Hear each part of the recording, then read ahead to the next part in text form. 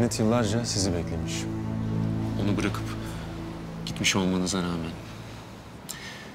hep bir geçerli sebebinizin olduğuna inanarak sizi beklemiş.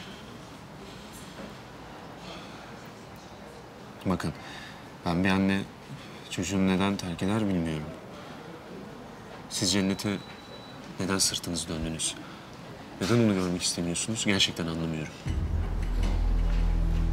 Ama onu bir tanısanız, kere elinden tutsanız, bir kere gözlerinin içine baksanız, ona biraz şans verseniz. İnanın bana onsuz geçirdiğiniz her gün için pişman olacaksınız. Eminim buna çünkü sizin kızınız benim hayatta tanıdığım en iyi kalpli, en düzgün insan. Size yalvarıyorum. Cennete bir şans verin. Onun size çok ihtiyacı var.